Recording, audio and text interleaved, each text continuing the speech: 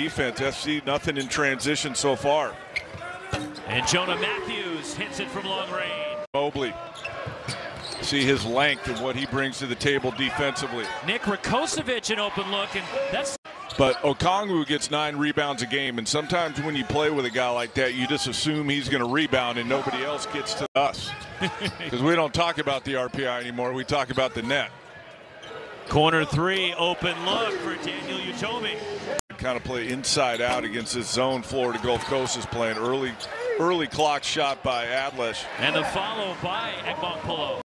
And the offensive rebound, Max Agbonkpolo for the Trojans, and a slam from Isaiah Mobley. Nice play. Mobley, the offensive rebound. That left corner's been wide open all night. Now the right corner they'll try. Utomi. Whoa! Followed by Max Agbonkpolo. In it, I would take Spencer Jones against the rest of the league. Nick Rakocevic follows up his own miss. See, I like this. Get it. It doesn't mean you got to score in there. Just get it in there and then play out. Jonah Mathews, the floater.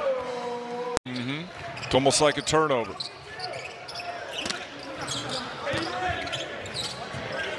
From deep, Daniel Utomi hits a three. Utah game on Saturday, so we'll see where both those teams are at after Thursday. Isaiah Mobley.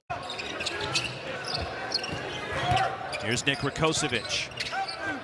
Nice. Drops it off to Max Agbonkpolo for the Trojans. Kosovic having the second half. He's got a bunch. That's eight for the game. Now he's firing a three, and his second three tonight. Schwartz and how what a great offseason he had. And it shows. You see it.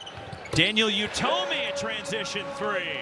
USC's put four guys in the NBA the last two years. Mm-hmm. Look at not just McLaughlin as the floater Nice.